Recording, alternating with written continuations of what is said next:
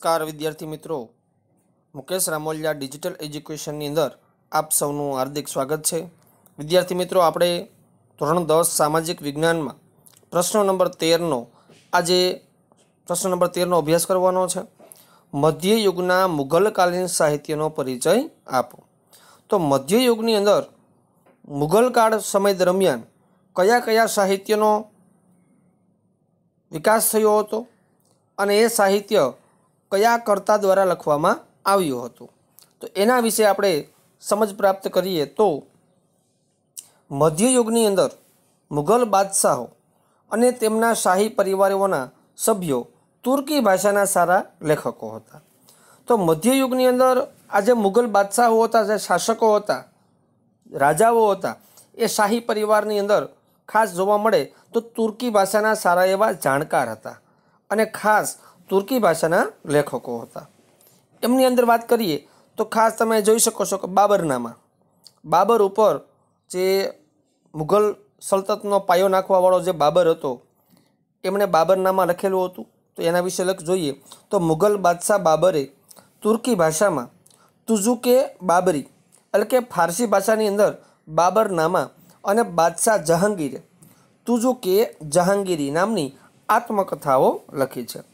આત્મકથા એટલે કોઈ વ્યક્તિ ઉપર ખાસ એના જન્મથી લઈ અને મૃત્યુ સુધીના જે કાંઈ એમણે કાર્ય કરેલા હોય, એના સંદર્ભમાં જે કાંઈ લખેલું હોય, એમને આત્મકથા કહી શકાય.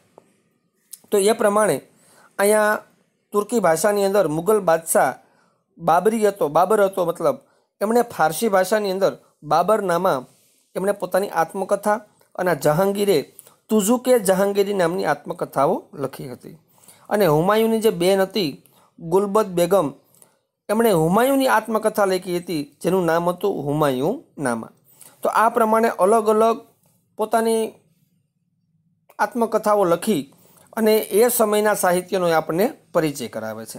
તો યાદ રાખજો વિદ્યાર્થી મિત્રો, કે બાબરે તુર્કી ભાષાની અંદર તુઝુ કે બાબરી અને એની એ જ ફારસી ભાષાની અંદર બાબર નામા ત્યારબાદ જહાંગીરે તુઝુ કે જહાંગીરી અને હુમાયુની જે બેન હતી, ગુલબદન બેગમ, એમણે હુમાયુની આત્મકથા, જેનું નામ હતું હુમાયુ નામા આ આત્મકથાઓ લખવામાં આવી છે.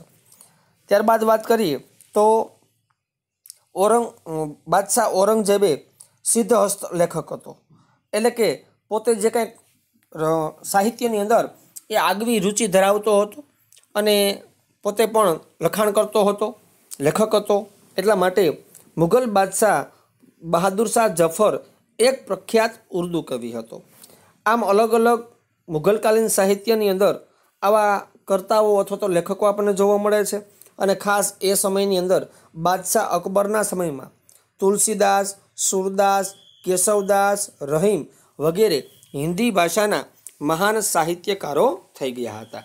તો આવા જે સાહિત્યકારો હતા, એમણે એ સમયની અંદર સાહિત્યનો ખાસ અભ્યાસ કરી અને અલગ અલગ કૃતિઓ લખવામાં આવેલી છે. અને આમ આખા દેશની અંદર ઘણા ભાગોની અંદર તો રહીમના દોહા આજે પણ પ્રચલિત છે. કે રહીમના દોહા, એ સમયના તુલસીદાસ, સુરદાસ, કેશવદાસ, રહીમ આ બધા હિન્દી ભાષાના સારામાં સારા મહાન સાહિત્યકારો થઈ ગયા અને પોતાના કલમ દ્વારા એમણે સારામાં સારું ખેડાણ કરેલું જોવા મળે છે. બાદશાહ અકબરે મહાભારત, રામાયણ, અથર્વવેદ, ભગવદ્ ગીતા, પંચતંત્ર વગેરે ગ્રંથોનો અનુવાદ કરવા માટે એક સ્વતંત્ર મિત્રો ખાતાની રચના કરી હતી. એટલે કે પોતાના રાજ્યના દરબારની અંદર એક ખાસ અલગ અલગ વ્યક્તિઓની નિમણૂક કરી અને એક વિભાગ પાડવામાં આવ્યો હતો કે જેના દ્વારા સાહિત્યનો સારામાં સારો વિકાસ થઈ શકે. લોકો સાહિત્યને વાંચી શકે. આગળનો ઇતિહાસ એ લોકો ભવિષ્યની ભૂતકાળની અંદર કે ભવિષ્યની અંદર તમે જોઈ શકો કે ભૂતકાળમાં બનેલી જે કંઈ ઘટનાઓ છે, એને જો આલેખવામાં આવેલી હોય, તો ભવિષ્યના લોકો છે એને વાંચી શકે, સમજી શકે અને જ્ઞાન પ્રાપ્ત કરી શકે. તો આ માટે બાદશાહ અકબરે ખાસ મહાભારત, રામાયણ, અથર્વવેદ, ભગવદ્ ગીતા, પંચતંત્ર આવા ગ્રંથોનો અનુવાદ કરવા માટે એક ખાસ અલગ વિભાગ, અલગ ખાતાની રચના કરવામાં આવેલી છે. તો અહીં તમે જોઈ શકો છો બાબરનામા છે, હુમાયુનામા છે, અકબરનામા છે, આમ અલગ અલગ શાસકો દ્વારા એમની આત્મકથાઓ લખવામાં આવેલી છે.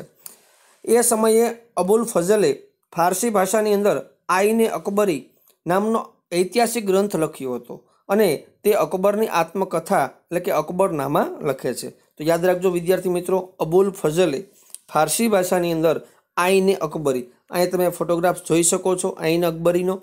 એ ઐતિહાસિક ગ્રંથ લખાણો અને અકબરની જે આત્મકથા છે, એમનું નામ અકબરનામા છે. અબુલ ફઝલનો ભાઈ ફૈજી ફારસી ફારસી ભાષાનો મહાન કવિ હતો અને એમણે સંસ્કૃત ગ્રંથોનો ગ્રંથોનો ઘણા બધા ફારસી ભાષામાં અનુવાદ કરવામાં આવેલો છે.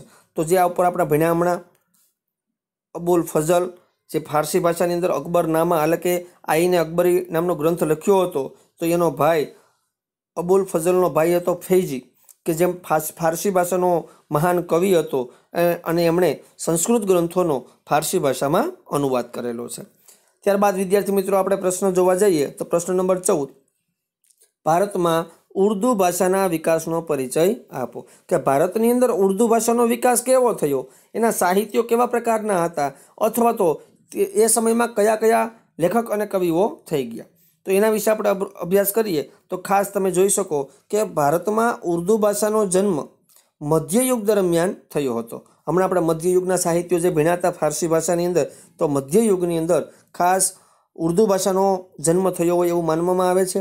સમય જતાં આ નવી ભાષા સાહિત્યની દ્રષ્ટિએ સૌથી સમૃદ્ધ ગણાતી ભારતની અન્ય ભાષાઓની સમકક્ષ બની. કે ભારતની અંદર હાલમાં માન્ય બાવીસ ભાષાઓ છે આપણા બંધારણ પ્રમાણે. તો એ સમયની વાત કરીએ, તો એ સમયના સાહિત્યની દ્રષ્ટિએ આપણા ભારતની જે કંઈ ભાષાઓ હતી, એ ભાષાઓની સમકક્ષ, એટલે કે એની બરોબરી કરી શકે એવી રીતે ઉર્દુ ભાષા પણ એ સ્થાન પામે છે. ઉર્દુ ભાષાની અંદર તમે જોવા જાઓ, તો વલી, મરદદ, મિર, મિર્તકી મીર, નઝીર, અકબરાબાદી, અસદુલ્લા ખાન, ગાલિબ વગેરે મહાન કવિઓ થઈ ગયા. તો એ સમયની અંદર આ બધા જે મહાન કવિઓ થઈ ગયા, તો એ પોતાના કલમ દ્વારા સારામાં સારું પ્રદાન કરી અને સાહિત્યને બહુ આગવું સ્થાન આપવામાં આ બધા કવિ લેખકોએ મહાન ફાળો આપ્યો છે. આ બાજુમાં તમને જે ફોટોગ્રાફ્સ આપવામાં આવ્યો છે, એ ગાલિબનો છે. અઢારમી સદીમાં ઉર્દુ ગદ્ય વિકસ્યું. એટલે કે ગદ્ય સાહિત્ય, એટલે જે લખાણવાળું પાઠવાળો જે તમે ભાગ જોઈ શકો છો. તો એને ગદ્ય સાહિત્ય કહેવાય. જ્યારે કાવ્યમય હોય, તો એને પદ્ય કહી શકાય. તો અઢારમી સદીની અંદર ગદ્ય સાહિત્યનો વિકાસ થાય છે. ઉર્દુમાં અનેક મૌલિક ગ્રંથો રચાયા છે. મૌલિક ગ્રંથો એટલે પોતાની વિચાર શક્તિ પ્રમાણે જે કાંઈ રજૂઆત કરવામાં આવેલી હોય, તો એને આપણે મૌલિક ગ્રંથો કહી શકાય. મોહમ્મદ હુસેન આઝાદ રચિત દરબારે અકબરી એક મહત્વનો ગ્રંથ છે. તો યાદ રાખજો વિદ્યાર્થી મિત્રો, આવા પ્રશ્નો જોડકા ખાલી જગ્યા અને વિકલ્પમાં પૂછાઈ જાય છે. તો મોહમ્મદ હુસેન આઝાદ રચિત, એટલે કે મોહમ્મદ હુસેને પોતાને એક ગ્રંથ લખેલો છે, જેનું નામ છે દરબારે અકબરી.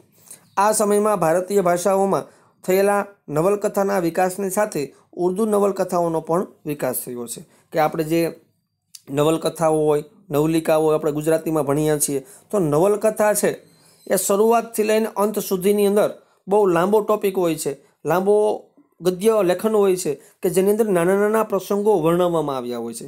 એને કહેવાય નવલકથા. જ્યારે નવલિકા હોય, એ નવલકથાનો નાનો એવો ટોપિક છે કે નાનો એવો પ્રસંગ એમાં વર્ણવવામાં આવેલો હોય છે. તો નવલકથા લાંબી હોય, જ્યારે નવલિકા ટૂંકી હોય છે. તો એમ એ સમયની અંદર ભારતીય ભાષાઓની અંદર થયેલા નવલકથાના વિકાસની સાથે ઉર્દુ નવલકથાઓનો પણ સારો એવો વિકાસ થયેલો જોવા મળે છે. તો વિદ્યાર્થી મિત્રો, આપણે આજના વીડિયો લેક્ચરની અંદર આપ અહીંયા સુધી રાખીશું. અગાઉના વીડિયો લેક્ચર જોવા માટે ખાસ ચેનલને સબસ્ક્રાઈબ કરજો લાઈક કરજો અને અન્ય વિદ્યાર્થીઓને શેર કરજો. ત્યાં સુધી રજા આપશો. જય હિન્દ, જય ભારત.